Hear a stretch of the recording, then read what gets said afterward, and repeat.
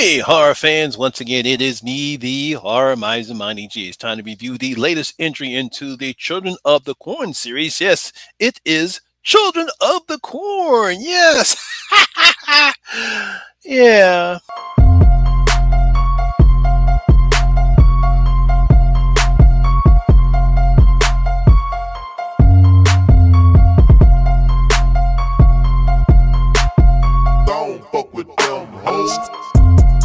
Now, Children of the Corn is a 2020 American supernatural slasher film. It was written and directed by Kurt Wimmer.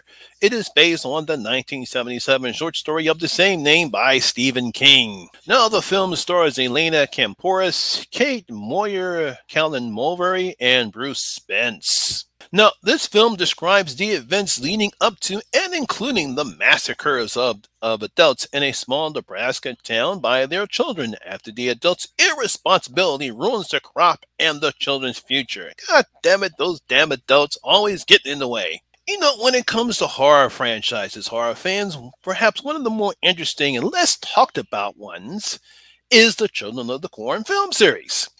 Now, the series, uh, based upon the 1977 short story of the same name by Stephen King, and really started in 94. And the basic premise is a group of children who worship a demonic entity called He Who Walks Behind the Rows, killed all the adults in a small farming town in Nebraska after a failed corn crop. Now, while the movie was panned by most critics and it only made $14.6 million at the box office, it did become kind of a cult classic among some horror fans. As a matter of fact, my good friends Jen and Christian from Jen's Reviews and Graves, they actually did a whole uh, reviews reviewed the whole series, I think a couple years ago. if you want to know anything about the Children of the Corn series, you should watch their channel.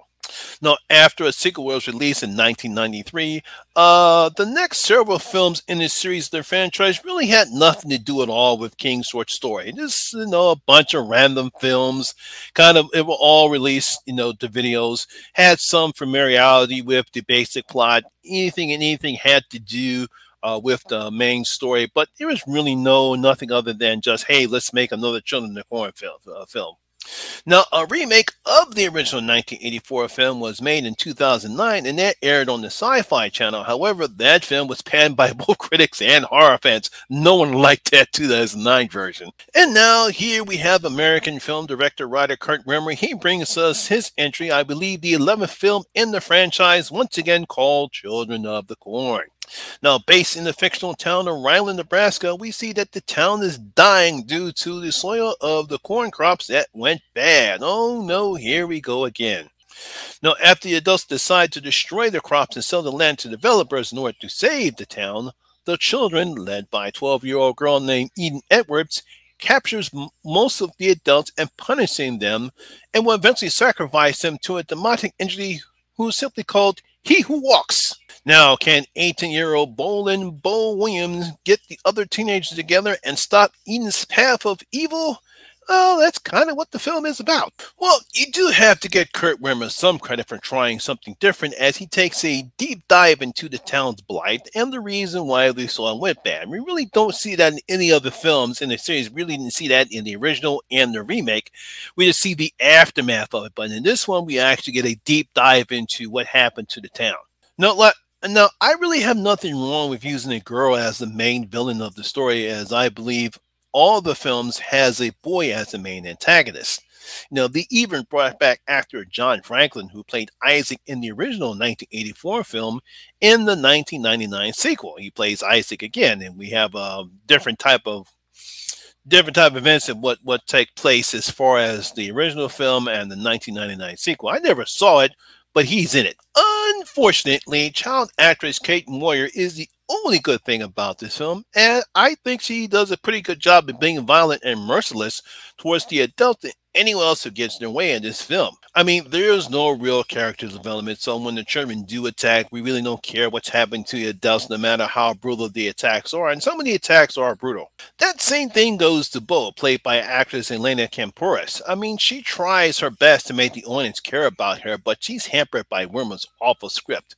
I mean, she comes up as caring. She cares about the town. She cares what's happening to her parents, despite all the negativity that's going on in in the film and what's happening to the town. But unfortunately, as try she does, there's nothing she can do in order to bring any type of energy to the script. You know, it's just dull and lackluster. I mean, another problem here is the terrible CGI, especially when it comes to He Who Walks.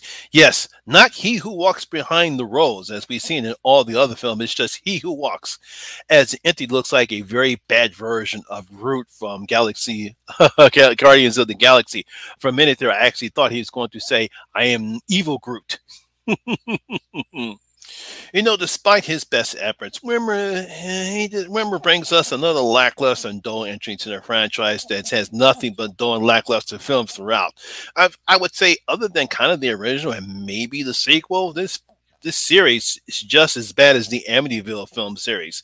Dull, lackluster, really hasn't done anything to generate any type of buzz maybe some of the films are okay. Maybe some of them are. Maybe there might be some good. But as far as the films I've seen this film, they're just eh. I mean, I'm sure the COVID 19 pandemic didn't help matters as the film was made in 2020, and I believe it did get some release in some of the film festivals here, but it wasn't released until March of this year, and it's now airing on the streaming services Shudder. But then again, this is just another terrible film that really doesn't have anything new, you mean, other than changing the antagonist from a boy to a girl, or doesn't try to do anything different in order to make it stand out from the others. I mean, I like the fact that he did try to do something different, you know, give a more deep dive into the uh, backgrounds of the towns.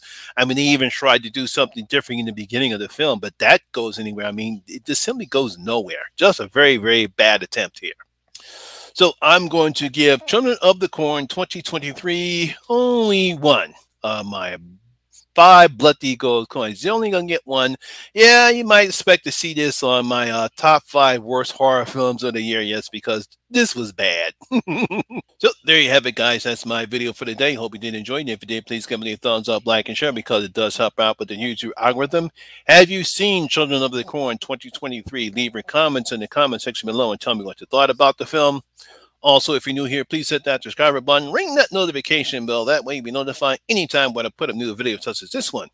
Once again, my name is Lamont Smith, better known as a Horror Miser Monty G, and always remember that horror rules. I'll see you in my next video. Y'all guys stay safe out there.